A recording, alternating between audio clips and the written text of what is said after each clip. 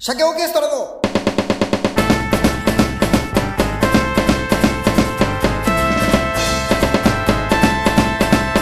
鮭の話はいどうも皆さんこんにちは司会進行の鮭オーケストラとアシスタントのコシモムオです。もみもみ。もみもみ鮭の話やっていきたいと思います、えー毎回6つのテーマを決めましてその中からランダムで引いたものでお話しするというものですはい。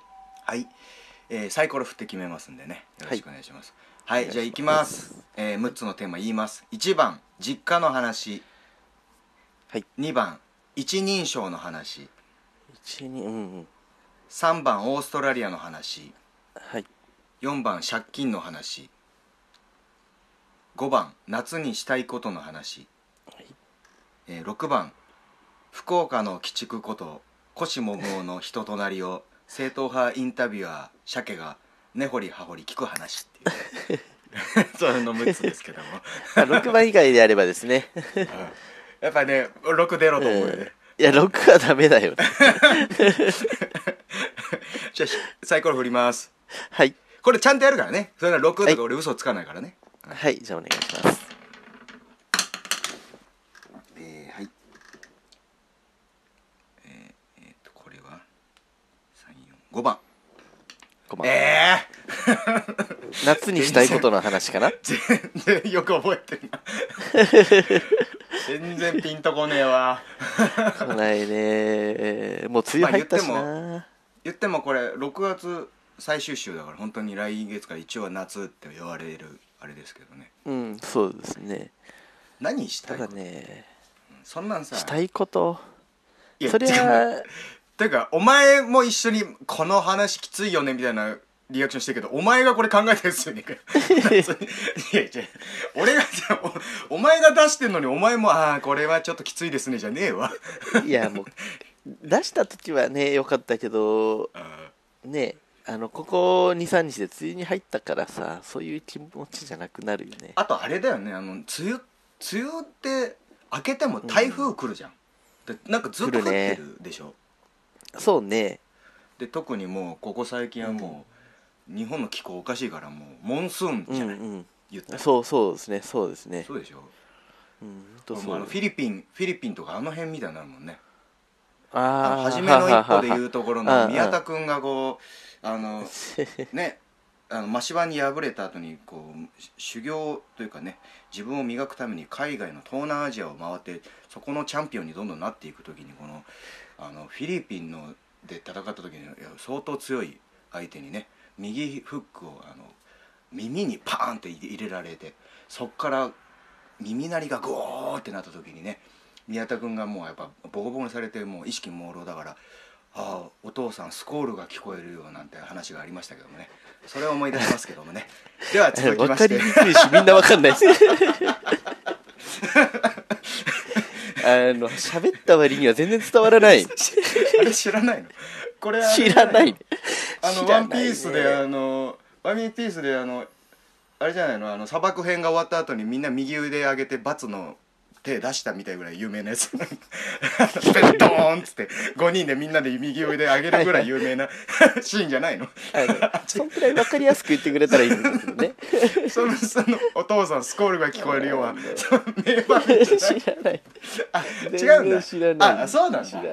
あやっぱずれてんな世間と。だから売れねえんだろうな。ずれてるね例えにあんだけ尺取ったらダメだよね。そうよ。まあ夏にしたい話っつったらもう一応ね、旬だからあれだけど、いよいよ来週になりましたから。博多福岡でのライブ。それ。ほんとなんとかだなお前。なんとかやれるようになったなお前、そうですねそうですやれねるのかもわかんないけどな。うん。やれるんじゃないかなっていうね。でもまあ楽しみではありますよね。うん。そうだね。あのーみんな来てほしいね。うん。ひ何？そのふわっと。みんな。来てほしい。みんな来てほしいよね、必死。必死。うん。まあ一応うん7月6日に1個ベーシックフェスっていうそのものに出してもらいまして。は福岡のね、はいはい博多でやる、うん。でその日7月6日にベーシックフェスとその後夜にもライブ出させてもらうっていうダブルヘッダーをやりまほうして、ほう。ほまあ両方はいはい。夜だけどね、次の日に腰もんもって今このアシスタントやってる人がい企画したライブに出ます。はい。そうですね。本当に言いたいことはいろいろあるけどね。俺の 作品を全てあらむむ俺もう本当に俺もう本当に中国人と喋ってる感覚。お前とは本当に無許可で。ちなみにあれだよね。7日もダブルヘッダーになるんだからなるんだよ。そうよ。だからそれはそう午前まあ中に1個やってもらって、あんな昼前にやるやらされるやらすかね。本当に。いい加減にしなさいよ本当に。まあいいんじゃないですか。お前のだったらそれ見どころ言った方がいいよその7月7日の。主催者なんだから。ああごめん。オーガナイザーなんだから。見どころはですねそういや幅の広さですよ。あのーなんだえー、っとですねエンプティーボックスさんとキルトンキャリーシングクルーズさんはゴリゴリのパンク系なんですよ。お前のなんだろうその全然知らない人が言うそのバンドの発音ハメの発音。それもすげえにすげえもう交流やったらそんな発音しないだろうなっていう。お前は本当に怒られるぞお前。いい加減にしろよ なんだよお前。なんだよお前。校長先生かよ。校の長先生の英語の発音。いい加減にしろよお前。がすごいんだ。パンクなんだ、のねそうすごいあのゴリッゴリな感じでですね、がいたりあのアメージンギフトさんはあのサラリーマンと中学生コンビのねあ中学生が来るんだ。中学生なんですよ。嘘俺じゃあそうのかそじゃあ挨拶の時萎縮させてやろう。やめうてちょうよ。大人の嫌な感じ出して。大人の嫌な感じ出して。中やめてやっ学てよ。うわこうなんかやりづらいなみたいな感じ出そう 出さして。もうもう一生してくれなくなっちゃう。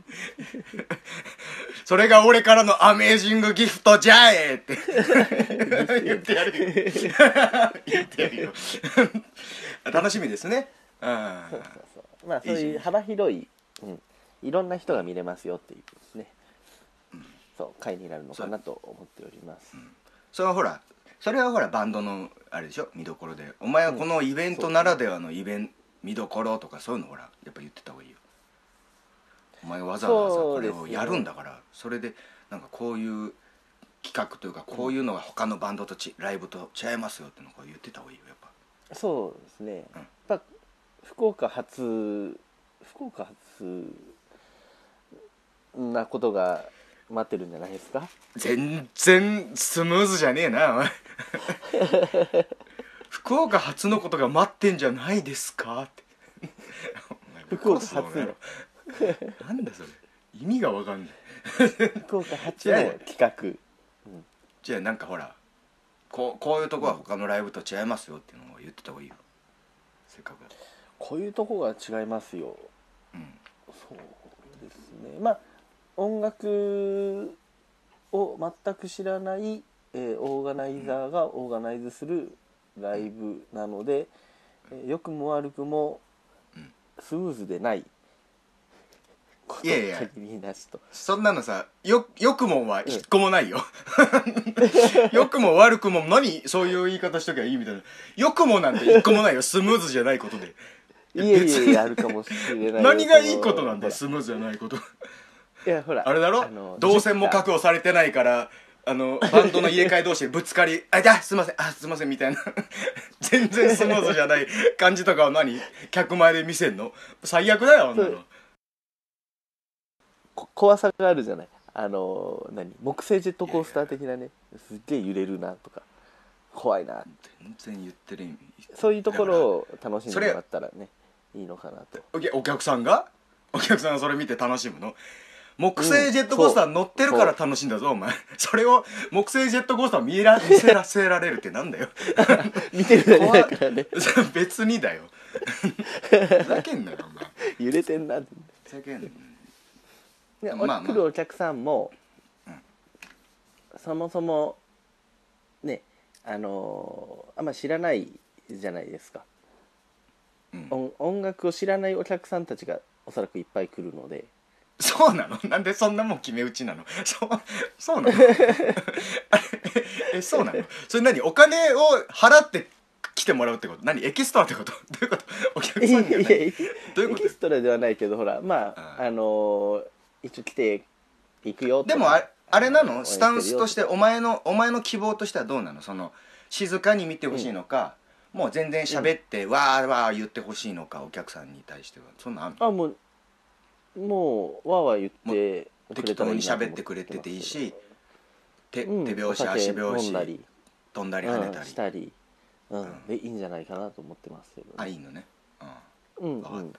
まあその方がいいんじゃないか。うんうん、盛り上がった方がいいかなと思ってますそりゃそうだよ。ねそりゃそしたらお前がやっぱりあれよ一番前でやった方がいいんじゃない、柵柵に両腕を柵で両腕掴んでケツだけジャンプぴょんぴょんぴょんぴょんして そういうのやった方がいいよ。あ両手両手で持ってね。そうそうそう。絵浮かぶだろ？ケツがぴょんぴょん。浮かぶ浮かぶ、ううんん、浮かぶ浮かぶ、やってんなやってな日の絵馬のような。ピャンピャンピャンピャンピャンっつってやっぱやった方がいい。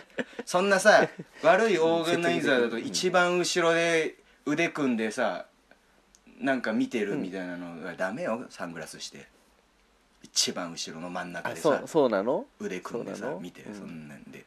はいはいはい。お手並み拝見みそうよだからお前はちゃんと「うひょううひょう」って言った方がいいよ。基本的に「うひょう」って言った方がいいよ。そんぐらいちょちょっと寒い寒いぐらいがいいんだから。そうよ「うひょう」まあって言った方がいいよ。や。やっていこうかなとはね。やった方がいいよ。そりゃそうよ。うん。本当よね。まあじゃあそれも楽しみですけどね。うんそうですね。なんで、うん。あの私も当日かとまあ当然ですけど会場にいますので、あのみんな話しかけてくれたらいいなと思ってる、あ本当？うん、いっぱい酒飲んだろうと思って。あいいじゃん。でお前バンパーキャッチバンケット T シャツ持ってんだからそれ着てろよお前ちゃんと。ああ来て来ていく、うんそれそれは着た方がいいよ。それうん、はあれね。そうよ。バンパーキャッチバンケットなんだお前みい、たいなねやらしいからさうん。自分のオリジナルだって思わすために鮭オーケストラのとこだけ黒ガムテープで隠すんだろうけどな。お前 T シャツに。お前そういうとこあるから。いいこといいこと。オリジナルオリジナルじゃねえわお前。ほんといい加減にしろよ お前。こんなもんさ人によっちゃさもしこれお前このイベントが大失まあないということを祈るけど大失敗してみろよ、はいはい。して一応バンパーキャッチバンケットって俺がやってる企画だからあああいつは福岡はいはい。で土地ったんだなみたいな。お前最悪だからなお前お前ふざけんな。まあそう言われるよね。お前すごいよな。何の遠慮もなく全てパクっていくっていう。な めちゃめちゃこじゃん。れ分かりやすく言うと今回のフライヤーの件ね。そうだよ。あんなもんしかもあさの俺よりもクオリティ下げてあげるってなんだよ。本当にもう俺ミッキーとミニーを思い出したもん。何なの？ふざけんなよ。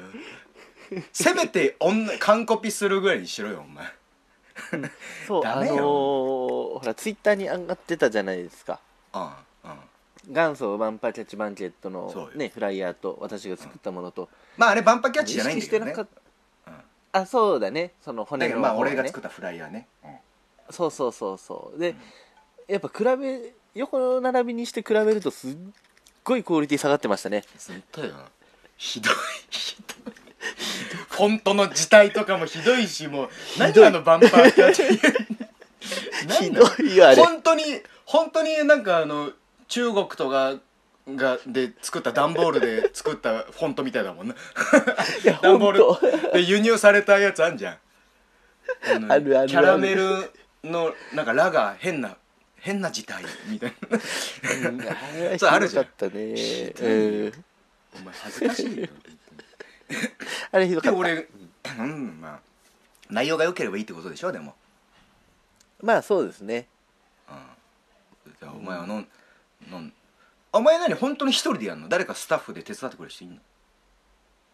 一応ねはいあのーほら受付とかも必要になりますあんで。そこあれじゃライブハウスの人がやってくれないんだ。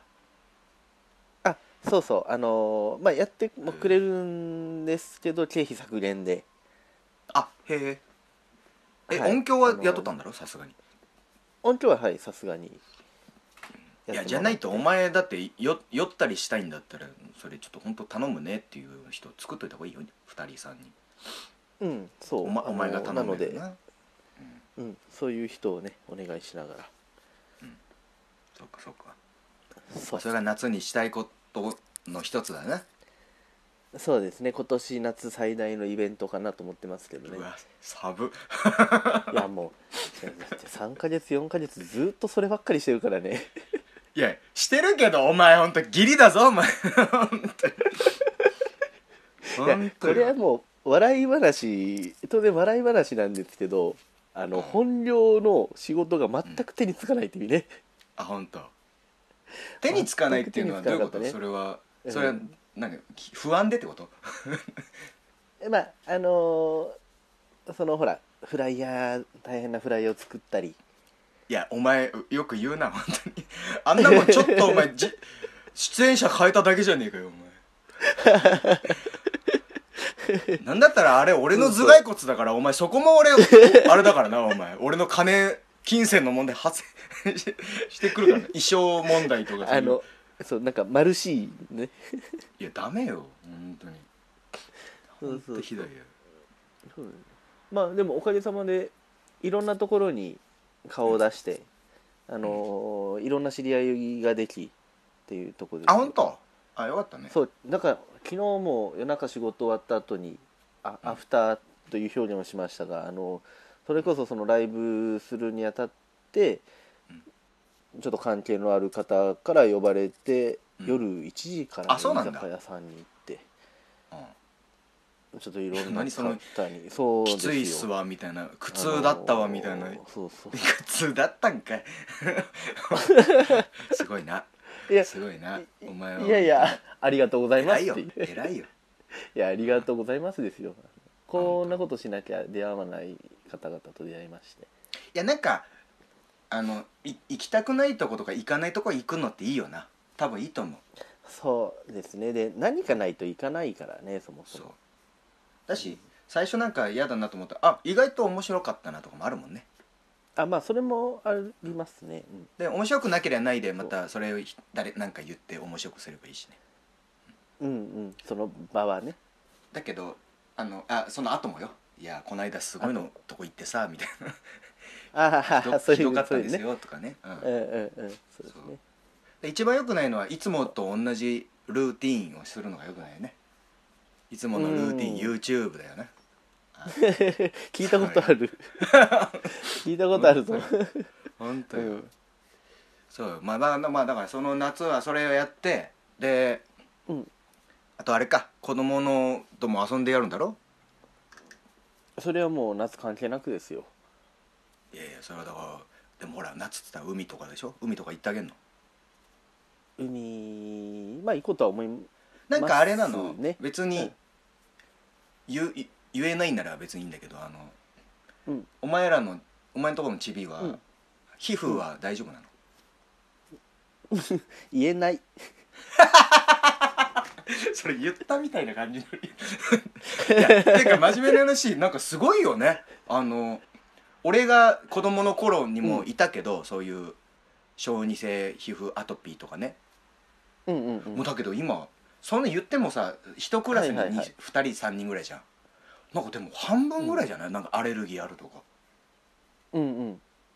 何かしらの。これ何なんだろうね。そうなそのいやよた耐性が強くないのかな？ね。結構アレルギーの子多くない、そうまあ何らかのねアレルギーを持ちながらうん。みんなやってんじゃないかな。まあもちろんし小児性だからそれが改善されるのもあるだろうしとかうんもっと言うとうん大人になったら出てくる人もいるんだろうけどね、うん。特に夏とか皮膚弱い子かわいそうだよね。本当に。そうですねうん。そうですね。そうなんだよ。うん。まああ。れだよね東京だからかな。別にやっぱ空気いい悪いとか関係あるのかねいや関係あるんじゃないかな。それこそほらオーストラリアはあんまりアレルギーがなんか効かな聞かないというか。いやいやそれはお前俺らオーストラリア行ってアレルギーって聞かねえだろそれは。それ聞かないよ。アレルギーって一回も聞いたことないそういう何それ？それは聞かないよ。そんなこと言ったら俺クンニリングスも聞かなかったよ。いやそれ聞かないよオーストラリア行って。どういうことよ？何なの？やめなさいよ変なこと言うのやグニリングスって言っちゃってる流暢な英語で聞かないでしょ。聞かないよニールとか言ってなかっただろ？インドニールとか。難しいな。言ってないじゃん。ニールからクニリングスも聞いてないな。そうでしょ？そうよ、うん。まあ、だからそういうのもあるからね、まあ、心配だよ。な夏はちょっと楽しいことやれればいいなということで。そうですね。まあなんかそれ一応告知しとけばそのあんたの何何時からとかあ7月そうですね。7日。えーっと7月7日、えーそれちなみに。場所うん。あどうぞどうぞ。場所は福岡市天神親不孝通りのキースフラッグというところでですね、うん。えー14時半から、あのー開演しますの。開演会開場しますので。うん。会場も開演もの区別もつかないオーガナイザーってなんだよお前。そういうとこ楽しんでほしいね。み店を開けるんだろ？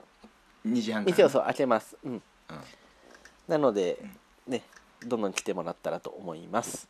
うん。腹立つな。桂木ヤもういいますン、じゃねえよ、えー、川田博も出るからね。うん、これがう鬱なんだよ俺。そう。本当に鬱だよ。楽しいめんどくさいんだよ1個。い荷物増えるとかさ。もうめんどくさい これはちなみに昼の部のやつは会員制なんだ。朝の昼の部と言いますと。あ朝のも一緒あの会員制というか誰でも来てもらっていいんですけど。それはじゃあ一応何時からなの？一応それはね何時からだったかな。えー、9時半オープンで内容がですねえーとそれなんだっけ？医療福祉の意識改革意識改革をする会維新の会みたいなそういう集まりだっけ？なんかそう言われると嫌なんだけどちょっとそれに近いようなもんがあるんだよね 本当に。本当に。アウトプットとインプット。だ1幕がアウトプットとインプットで 2幕ができないができないと言わない勇気。でさ 三個目がう。ん。学学学び学ばない学ばせない。ありそう腹立つ。で4番が鮭オーケストラのギター、なんだそれ。お前地獄地獄損だわこっち。なんだそのいかがわしいネットワークビジネスの会の中に、ね。で最後に出し出させられる。これお前本当にこんなの俺あの立ちあのそういうスタイル上嫌いだけどこれが今話題の闇営業なんじゃないかって 本当こんなこと言いたくないよ こんなもんそうじゃんだって。後でもらうんだろ？そうなんか変な。封筒に。そうん。まあでも。車代っつって。そうそういうことですよ。本当にそうまあな。うん。だからこれ真面目なやつなんだろ？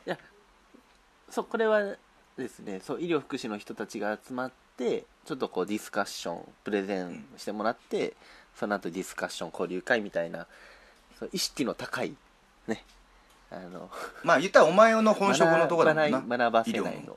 そうそうそうそういうことですそういうことです。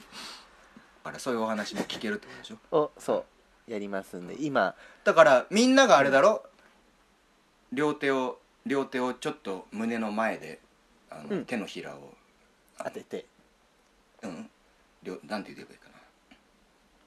えー一回じゃあ、ま、前に手バーンとな伸ばして。はい伸ばしました、んでひ肘をえーっと曲げて。曲げてはい曲げて今手のひら前に向いてる、えー上に向いてますね。上か、うん。じゃあこっち側にあの手自分の体側に手のひら向けて。ああはい向けました。うん。今あれだろ？この両手が曲が曲がるってそうですねそうですねうん。だからみんなこの格好するわけだろ？その医療だから。あ のお医者さんがするやつね。でこれでみんな みんなこれで話聞いてる。ではこれからそうよ。これ始めます。よろしくお願いします。あのーでは会の、ね、公式公式ポーズ。始めます。よろしくお願いします、あこれやっていこうかな。うん。そうだよ。やってった方がいいよ。えーやってったらいいね。スクラブ着て。スクラブ着て。あいいんじゃないですか。そうよ。そうそうまああのこれもですねちょっとその本当に医療人が選ぶ最新の医療だったり最新のこうあだから本当面白い話聞けるかもしれないでしょ、組み集めるんで多分一般の人が聞いてもすっごい面白いと思うんですよ。うん。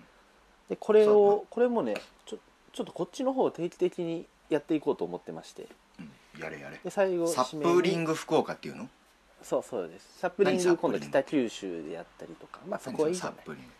いやいやそれ教えろよ ここに何かあんだろ意味が。いやこれすごい。これがないんですよ。ポリシーとかこだわり。いやいやいや。それ聞かせて。サップリングの意味だけ聞け。いや本当にねあのねボロボロに酒飲んで酔っ払ってる時に書いたからね。ええそうういうのいらいいそういうのいらないんだよ。そういうの。それなんかうるさいねそういう意味だけ聞かせろよ。サンプリングの。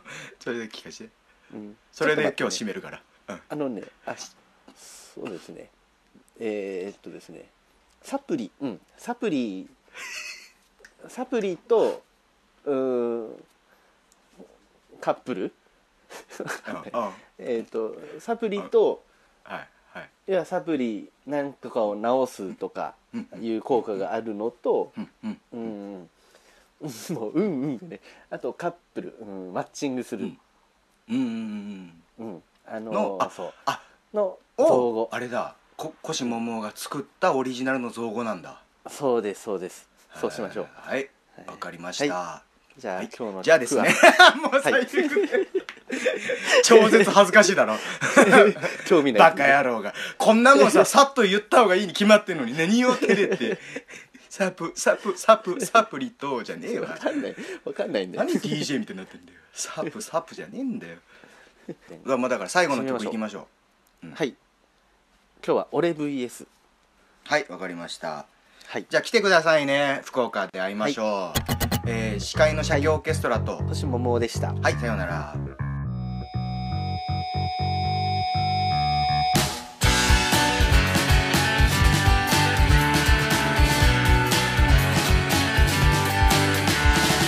いつもの駅の帰り道たまたま見つけて入ってきたのか。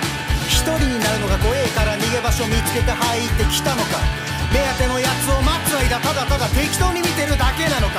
なんだっていい。どれだっていい。聞きたいように聞いてってくれよ。火を見るよりも明らかなことは見つがわないってことさ。この世の中と風当たりの強さに目も開けられず土の中埋もれて年中冬眠。それでいいや。それでいいやって。生きてきてはいないか淡々と。悟ったふりしてないか人生を。間違ってできた4元素。この世は理不尽なじゃんけんぽんパーを出しても1人なら100人のグーで殴られる。100人のグーで殴られる。教わった話と違うじゃねえか。ルールも何もあったもんじゃねえよなバカに殺されるのは同年だ。バカに殺されるのは5年だ。5年前10年前15年前からずっと行ったり来たり諦めと抗いの上りと下り降りることもできない特急電車。生まれてこれまで頼まれてもねえのに多くの苦虫捕まえてきちゃ。多くの苦虫噛みつぶしてきた。おかげさまで今じゃこのざまさ。道外した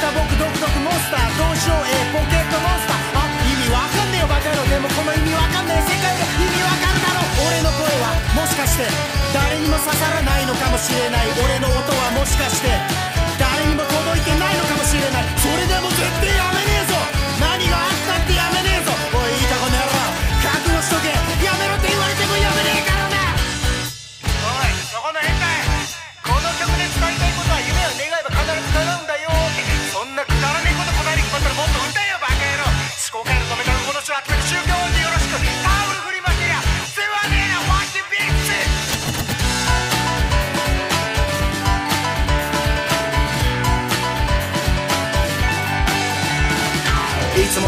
ものルーティン YouTube からたまたま聞こえてきたのか。誰かといるのが怖えからまた部屋の隅で聞いてるのか。現実逃避にすら逃げたくて耳を塞いで聞いてるのか。そんなことはどっちだっていいわ。好きなように聞いてみてくれよ。器用な人が損する世界で図太いやつが得する世界。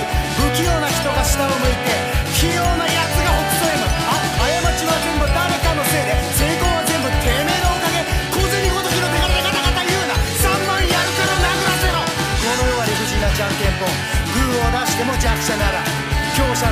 尻尾切り。強者のチョキで尻尾切り。おいおい。先生の話と違うじゃねえか。そりゃ生きる気なくすよな。クズに殺されなごめんだ。クズに殺されなごめんだ。5年経っても10年経っても15年経っても繰り返される。終わるたびにまた一から始まる痛みと笑いのスパイラル。5年経っても10年経っても15年経っても繰り返される。終わるたびにまた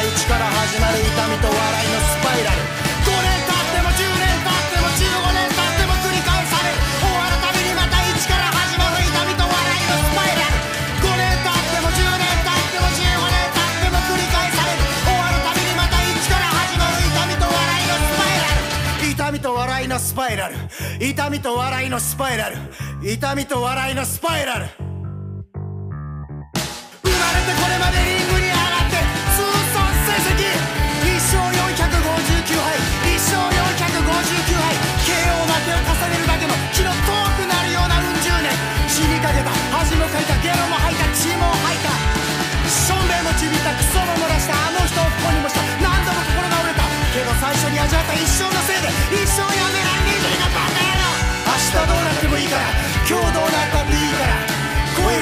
てもいいから。